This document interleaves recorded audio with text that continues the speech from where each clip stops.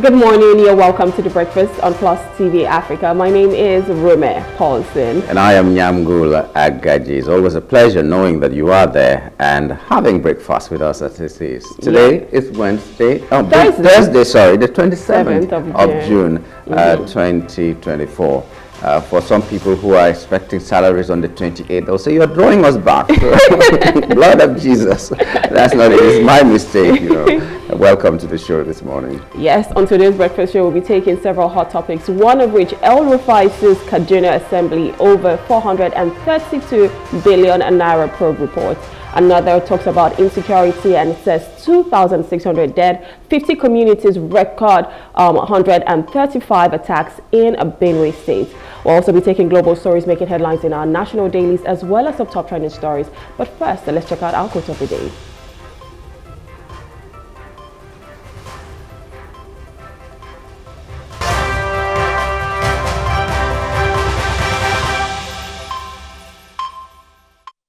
Way to predict the future is to create it, and that is by Peter Drucker. He was an Austrian-American consultant and writer, and he says this morning, the best way to predict the future is to create it.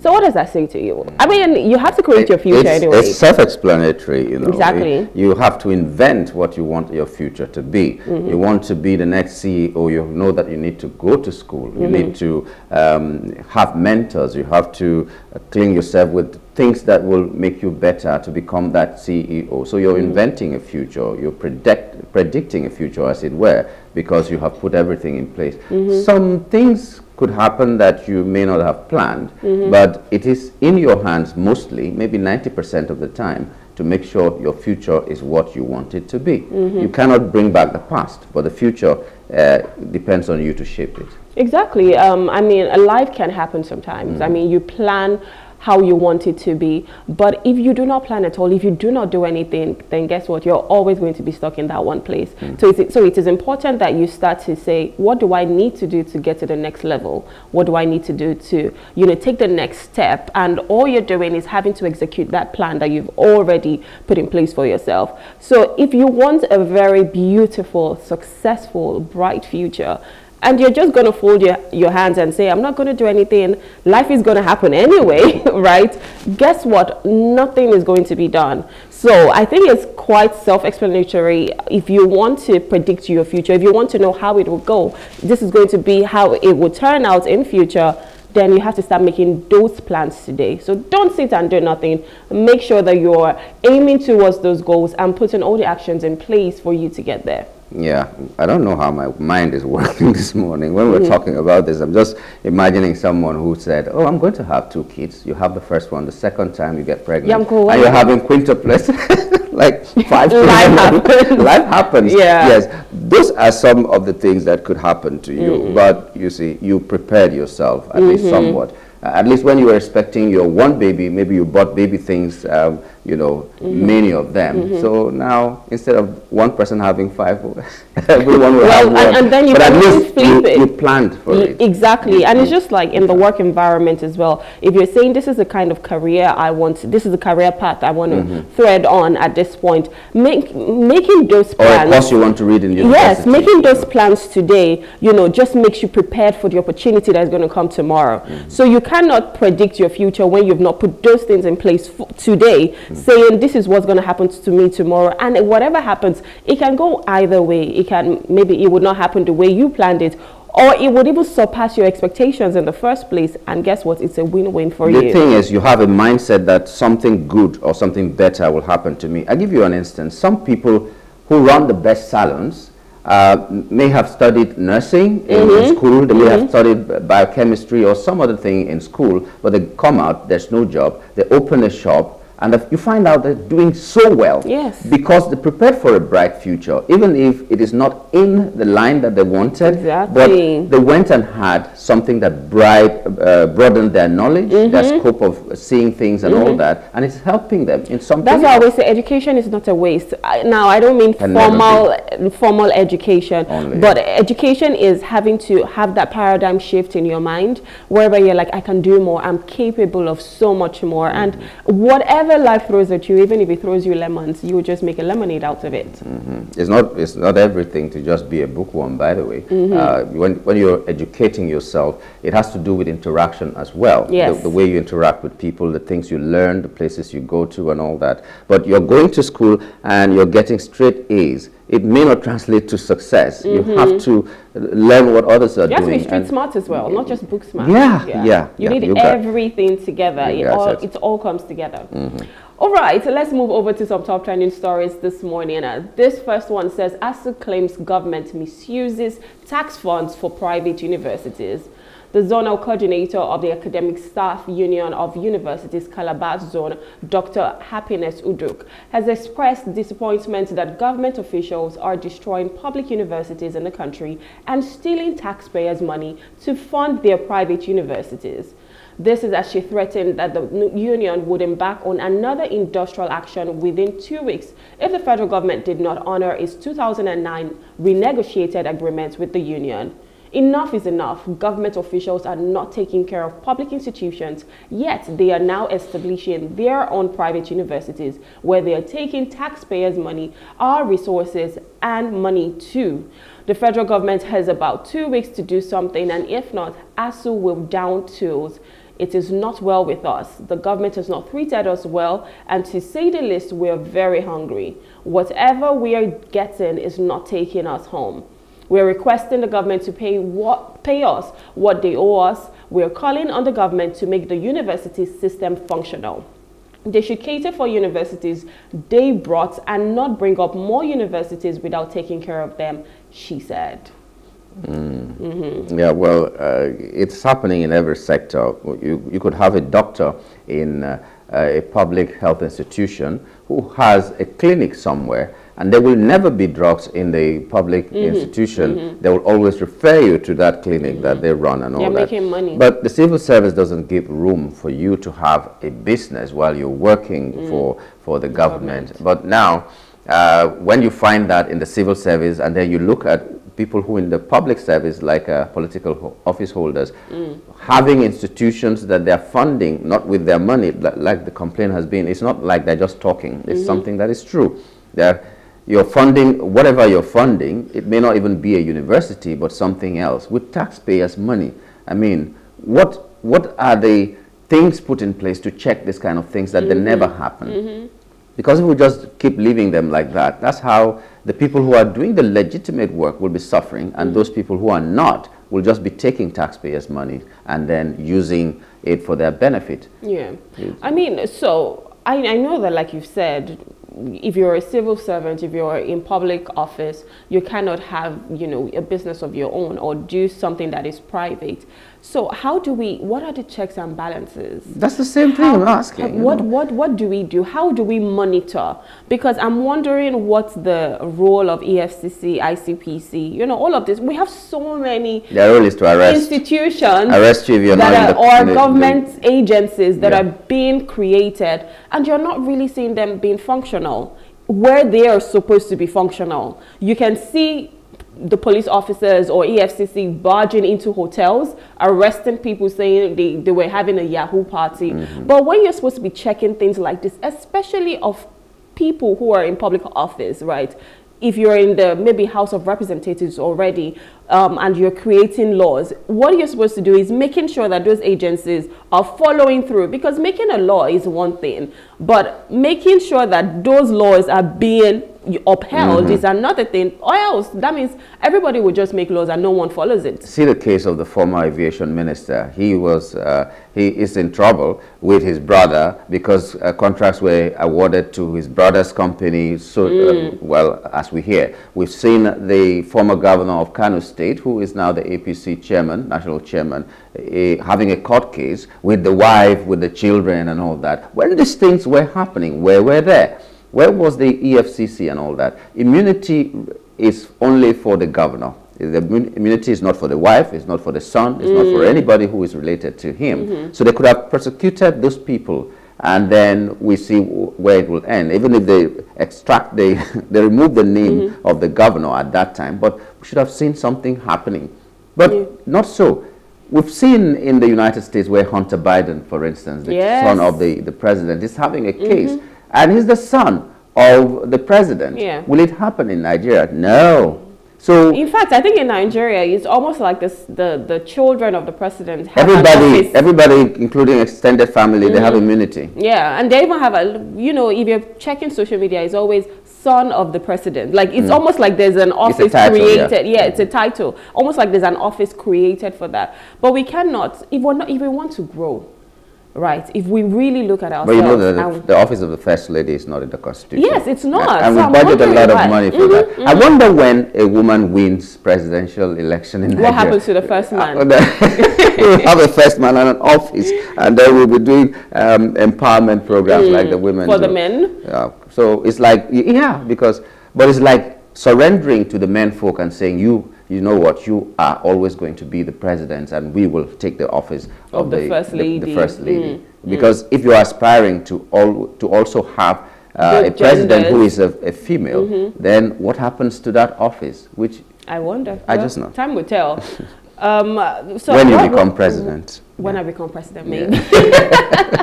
That's if I'm even looking at that. But what I'm trying to say is, if we really want to grow, we need to be honest with ourselves. Yeah. We need to say this is where we're going to. In as, as as Nigerians, this is this is what we're looking at. This is our goal. You cannot tell me that you're taking taxpayers' money and using it for your own business. I, I don't think it's it's even right because these are people's blood and sweat. And these same people cannot afford food right now hmm. because food is one of the most expensive commodities in Nigeria.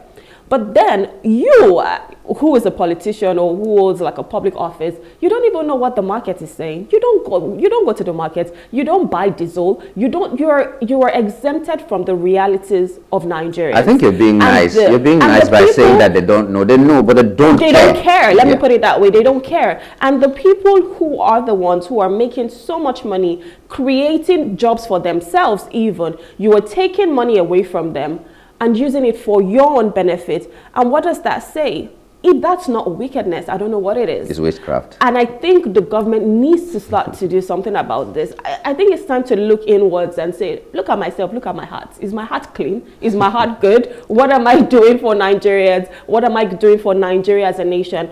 And let us let us be able to use taxpayers' monies right. Don't take it for something. Don't deviate the money. Don't don't don't take the funds that was meant for something, taking it into your own pocket. That is just wrong. It is not a poverty alleviation scheme for you. No, this Nigeria is for everyone, and everyone should benefit from it. I think we should know at this point that um, every individual is the God uh, and the devil at the same time, depending on where you stand. Mm-hmm. Because uh, these people are the ones that swear by the Bible and the Quran. Mm-hmm. And some of them, like it happened uh, not too long ago, swear by Ogun and all that. And, and they still leave all these things that they claim to believe in and then do what they want to do. So I, I don't know whether they even have a conscience. How do they sleep? That's why I said, look at your heart. How- how do- is my heart clean? How will I think as I'm sitting here if I Mm-hmm. want to do something really terrible? The first thing I'll be thinking about is Your when, when my you. children, for instance, hear that I am a thief. How, how will they feel? Like, like Embarrassment, yes. I can't even imagine that putting them through And then you're hearing of people taking up to 80 billion. And they are imprisoned or they are, they are just on the newspapers. This man is a thief. He stole this amount of money and your children are there, your wife is there and everybody's comfortable. How does it, How did how we get these here? families How did we even get Oh here in the first place? It's mm. quite sad and unfortunate. Sad, yeah. Anyways, another top trending story says fire outbreak at Dangote refinery. There was a fire outbreak on Wednesday at the Dangote Petroleum Refinery in the Lekki Free Zone, Lagos. Though the cause of the fire could not be ascertained, workers at the refinery were evacuated out of the building amidst panic. Reacting to the incident, the Chief Corporate Communications Officer of Dangote Group, Anthony Chiejina, disclosed in a statement, we have swiftly contained a minor fire incident at our effluent treatment plant, ETP, yesterday, Wednesday, 26th of June. There is no cause for alarm as the refinery is operating and there is no record, recorded injury or body harm to all our staff on duty. According to him, the cause of the fire is currently unknown and investigations are underway to determine the extent of the damage and the cause of the incident. Mm -mm. Well, it better I saw be. This, I saw this yesterday and I was, why I was like, Dangote refinery that we're all banking on. I hope nothing is. It better happening. be an accident. Yes. And the investigation should be a serious one because mm. um, it's not long, long, too long ago when Dangote made a pronouncement that IOCs are yes, sabotaging his operations and that, uh, that, there was talk about adulterated fuel, aviation fuel even, being imported into the country and all that. And then a week later or something, a few days later, this. there's a fire in his, uh, I think that downplaying what really happened in that place. But I'm hoping and praying that it should be an accident, just yes. something that... And, no, and not anyone trying to sabotage. Yes. Because if know, that is the case, then there's problem in this mm -hmm. country. We know that there are people who are sabotaging even government policies so that mm -hmm. they mm-hmm. never work because of their selfish gains. Mm -hmm. But as far as we can trace these people out, we should start speaking out. Don't come and be telling us if I mention names, Nigeria will burn. if I do this, start mentioning the names and let us see what can be done about them. At least name and shame them, even if you cannot prosecute and them. And that's the, that's the way you can even start to deter others from doing such crimes. Because if you do not make an example of some people, then you're not ready. We need a scapegoat. If there are people who are, you know, not just opposition, anyway, not even the opposition party. If there are people who are sabotaging government policies, who are sabotaging anything for the growth of Nigeria, it is important that we start to call them out if we have to even put them in jail for a time, it's just for, for other people to know that this can happen to me too. And I do not want to be away from my family. I do not want to, because that whole calling them out and saying, so, so person did this, I think they're now immune to it. There is no embarrassment we don't anymore. so people. it is important that we name, we shame, and we actually bring them to justice. That's the only way, you know, we can move forward. And if really someone is sabotaging Dangote refinery, it's quite unfortunate because truly, I, I, he has said IOCs are trying to sabotage that. So proper investigation needs to be done yeah. about this so that we know the root cause of the matter and we start to work out of that. Mm. There should be consequences for wrongdoing. Exactly. Consequences, that's the word. Mm -hmm. it, mm-hmm. until we get to that point, we may just be talking and talking. All right, our final top trending story says Fubara explains youth attempted bombing of a Port Harcourt hotel. The Rivers State Governor, Siminalayi Fubara, has clarified that he is not fighting anybody, but rather defending the state against predators. He asserted that the failed attempt to detonate an explosive device at a hotel presidential in Port Harcourt um, owned by the state was a deliberate ploy to threaten the call for a state of emergency by haters who want to undermine the state to achieve their evil plans. Fubara made the assertion when he received on a courtesy visit a delegation of the Senate Committee on Privatization and Commercialization.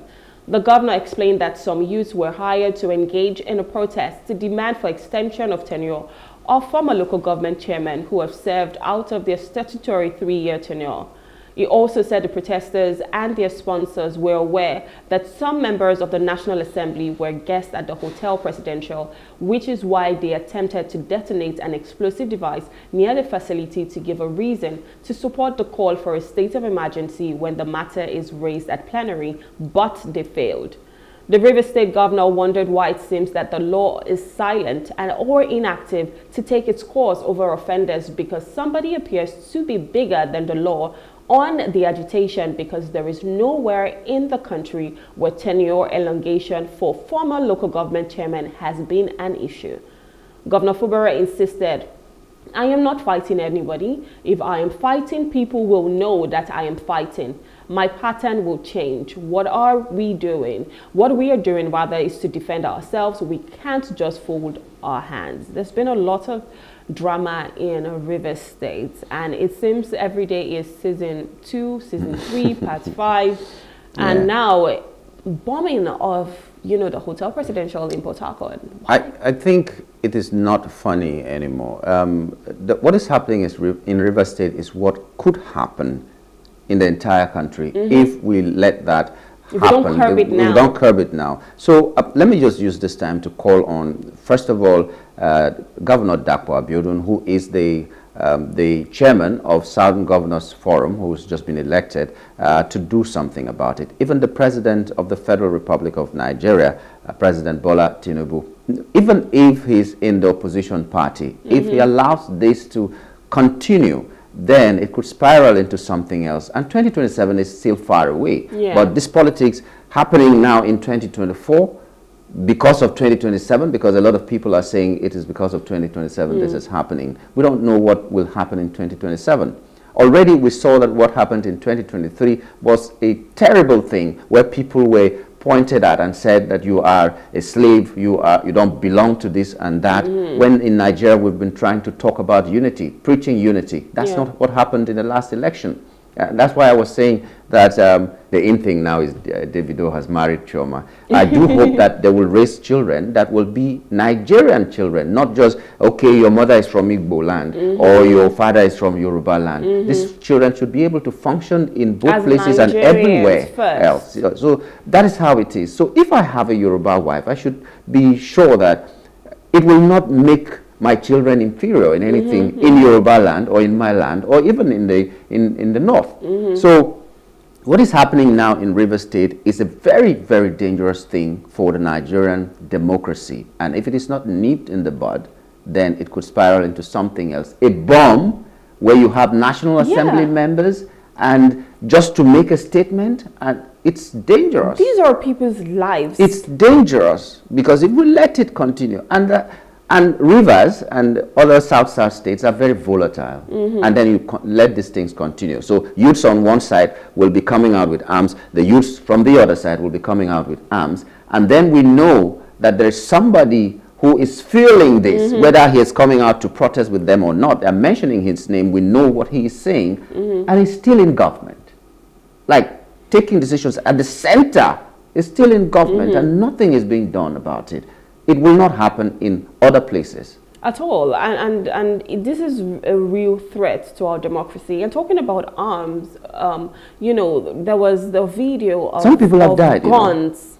Of so much guns and bullets. I think I saw that, like, I think the, the video was from the north. But that should tell you how we just think you know what it's okay mm. it's just it's just um it's just ammunition it's it's all right these are people's lives at stake to the point that we're taking bombs and trying to kill people. Yeah. Do you know to how many? If something like that had been detonated, do you know? It's not even just maybe some National Assembly members.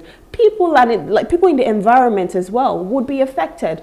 Why? How did we get so bad with our system that we allow things like this? Yeah. And why is no one saying anything about it? Well, now the governor is saying, "I'm not fighting anyone." Yeah. That, that is on one hand the people who are coming out to do these things or agitating. I think the federal government should, should, They need to step in now. Its, yes, to put its feet down. Um, well, they have said they have arrested someone or they have discovered, they found the person who uh, detonated the bomb at that place and all that. Uh, they found someone in a hospital that was brought for accident and all. I hope they will do further investigation. Yeah. What if that person is a victim because he was brought to the hospital unconscious? The mm. people who brought him are the ones who said it, he was involved in an accident. Mm. What if he was a victim? He was just there yeah, when that bomb went off and all that. So investigations should be done. It was too hasty. That announcement that we have caught him and all that, was too hasty. Maybe, Maybe the perpetrators mm -hmm. are somewhere else and just laughing. And he's supposed to be the fall guy. So uh, I, I think our people just make pronouncements too fast. Do your investigation. If he's the one, then let him go in for it yeah. and make sure you find out who sent him. True because he was definitely sent. Let's not sweep this under the carpet. It is important that we look through it because I mean you don't want this to spiral into other states as well and Nigeria as a whole. Mm. Mm. All right, that's it for our top trending stories. We'll go on a short break, we look at the weather, and when we return, we'll be reviewing the papers. Please stay with us.